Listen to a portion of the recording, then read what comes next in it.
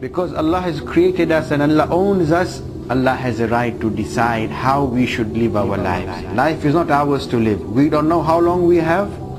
Uh, we didn't make ourselves. We didn't fashion ourselves. Uh, our parents didn't decide how we were going to be. Allah made us. Uh,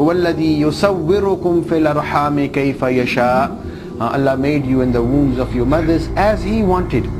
Allah provides for us and Allah will decide how long we will live and when Allah decides it, our time is up and then Allah will order an angel and he will come and take our soul away and a person will be no more. A Malakul Maut is not going to warn us, uh, here's my mobile number.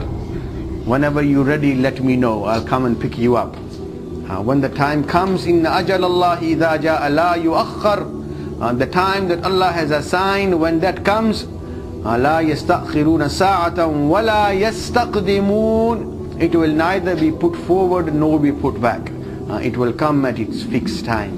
And blessed are the souls who will be ready when the time comes and they are ready.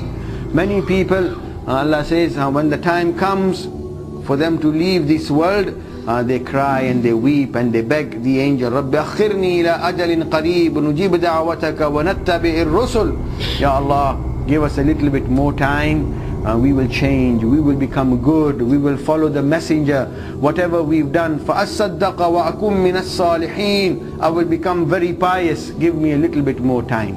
Uh, but they will not be given more time. Many other people, when the time comes and the angels come, there are many stories of pious people.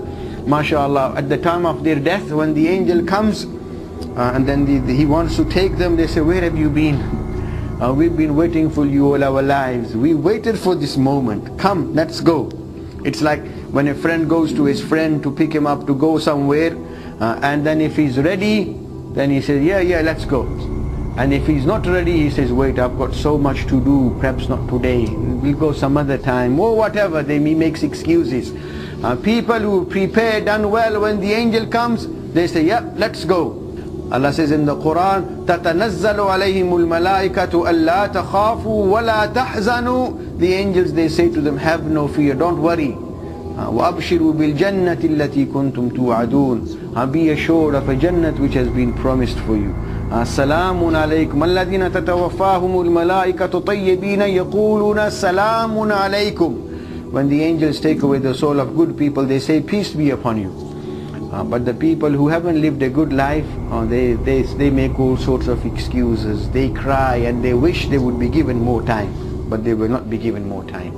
So people who live their lives in obedience to Allah, Allah's promise with them, من عمل صالحا من ذكر أو أنثى وهو مؤمن Whosoever does good deeds, be a man or a woman, wherever, من عمل صالحا من ذكر أو أنثى وهو مؤمن provided they are believers they believe in Allah they believe in the Rasul of Allah they believe in the book of Allah that he has sent and whatever needs to be believed in they believe وهو مؤمن فلنحيينه حياة طيبة then Allah says I definitely surely it's a double stress فَلَنُحْيِيَنَّهُ I will definitely, surely guarantee them a wonderful life.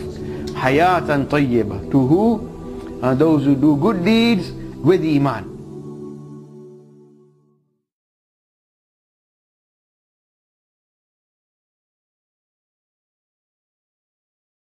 لا إله إلا الله محمد رسول الله